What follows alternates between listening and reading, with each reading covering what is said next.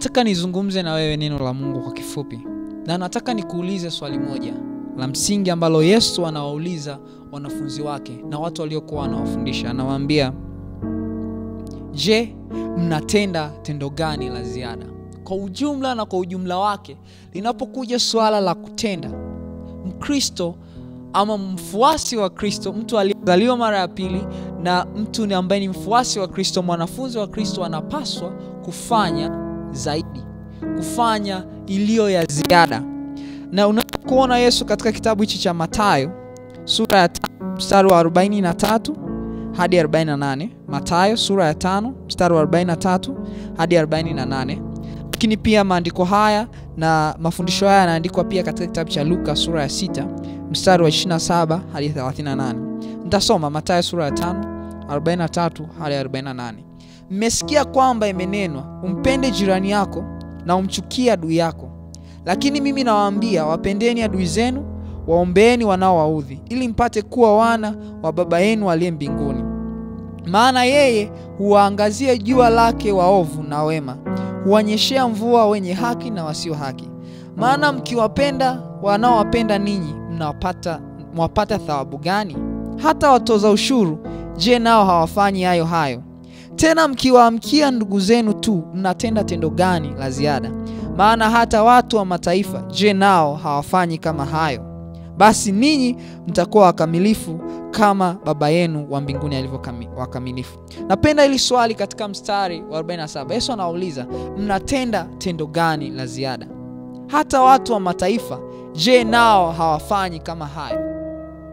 Nataka nirejee kauli yangu ya mwanzo kwamba unapokuwa ni mkristo unapokuwa mwanafunzi wa yesu na mfuasi wa kristo kwa maana ya kwamba mtu uliyeokoka na uliyezaliwa mara ya pili inakupasa kuwa kama baba yako wa mbinguni linapokuja kwenye swala zima la kutenda wema.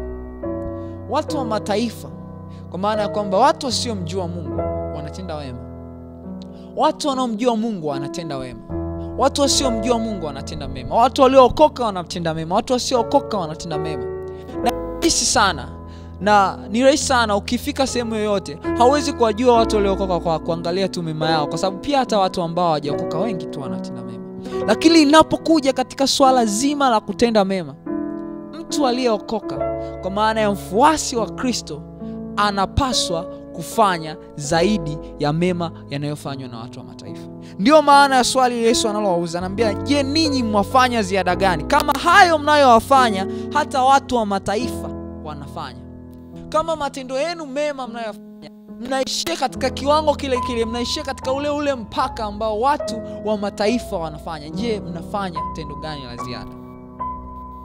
Na yesu anawafundisha wafuasi wake na yesu anatufundisha wafuasi wake yesu anatufundisha sisi tuliookoka.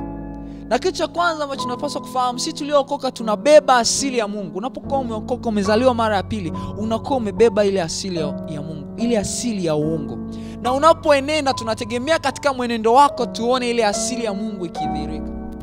Na mungu biblia inasema anasema ili mpate kuwa wana wa baba yenu aliye mbinguni. Maana yeye huangazia jua lake waovu na wema huonyeshea mvua yake wenye haki na wasio haki. Unaweza ukaona wema wa mungu ulivyo. Wema wa watu wa kawaida wanadamu huko una, unaelezewa pia katika sura hii. Unampenda yule ambaye anakupenda unamsalimia yule ambaye ni jirani yako ambaye yule ni wa karibu yako. Unamjulia hali unampa mtu kitu ukitegemea kupokea kitu fulani. Ndivyo wema wa dunia ulivyo. Na ndivyo upendo ulivyo wa dunia. Kuwapenda wale wanaokupenda. Kuwaheshimu wale wanaokuheshimu. Lakini kama wakristo tunapaswa kwenda hatua moja zaidi. Tunapaswa kufanya hatua ya ziada zaidi. Na ndio maana yesu anawaambia "Imes- mmesikia mkiambiwa mpende jirani yako na umchukie adui yake. Lakini mimi nawaambia wapendeni adui zenu waombeeni wanaowaudhi. Hivyo hivyo mungu wetu mungu ana asili yake baada ya tunabeba asili yake ambaye anatuzaa kupitia roho wake mtakatifu. Yeye anaonyesha wema kwa wote wanaofanya wema na kwa wanaofanya ubaya wanaofanya haki na wasiofanya haki. Na ndivyo ambavyo asili sisi tulionayo. Wema wetu hauishii kuwa kama wema wa watu wa mataifa. Linapokuja katika swala la kutenda mema. Unapokuja swala la kuishi maisha ya utendaji. Mkristo kama mkristo mtu aliyezaliwa mara pili kwanza anatakiwa kuvuka mipaka na kufanya zaidi ya dini ilivyo inavyofundisha. Dini ya kiyahudi torati iliwafundisha wayahudi kwamba wao walipaswa kuwapenda majirani zao na kuwachukia maadui zao. Unaweza ukasoma mstari wa 43 lakini unaweza ukasoma pia mstari wa 38 unasema, kwamba imenenwa jicho kwa jicho na jino kwa jino. Hivyo ndivyo ambavyo torati ilifundisha ndivyo dini inavyofundisha kwamba fanya hiki na fanya hiki.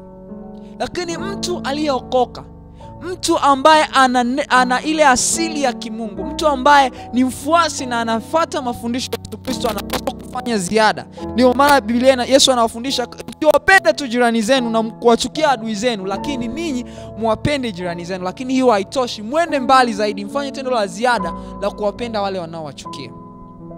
Kwa kwanza mkristo anapaswa kufanya zaidi ya dini yake inavyofundisha zaidi ya dini inavyotuelekeza. Mkristo anatakiwa kufanya hivyo. Lakini zaidi ya viongozi wa dini biblia inasema anaambia viongozi wa dini na pia zaidi ya wenye dhambi. Zaidi anasema mafarisayo wanafanya kama hivyo watoza ushuru wanafanya vitu kama hivyo. Watoza ushuru ni watu waliokuwa wanahesabiwa kama watu ambao walikuwa ni wakosaji. Wale walikuwa wanahesabika ni kama watu ambao ni mafisadi. Anambia wale pia wanawapenda wale watu wanaowapenda. Wanafanya wema kwa wale watu ambao wanawafanyia wema. Wanatoa kwa wakitegemea kwamba watarudishiwa. Wanawapa vitu, watu vitu wale watu wanaowategemea kuwarudishia.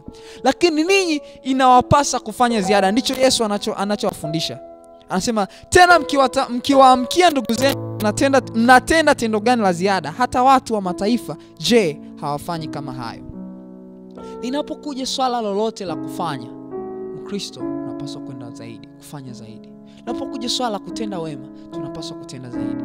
Ni vyema tukafahamu na tukumbuke siku zote hatuokoki kwa matendo yetu mema. Kinachofanya watu sisi tuokoke sio matendo yetu mazuri tunayoyafanya unaweza ukasoma tito sura ya tatu mstari wa tano hadi wa saba. Lakini ile neema tunayo- tunayoipokea tunaokoka kwa neema sio kwa matendo yetu. Lakini ile neema tunayoipokea kusoma sura ya- ya kum, uh, tito sura ya pili mstari wa kumi na moja hadi wa kumi na mbili nasema ile neema inatufundisha kuishi aina fulani ya maisha. Inatufundisha kuishi maisha ambayo sasa ndiyo haya ya wema ambao umepitiliza wema uliozidi bwana yesu asifiwe.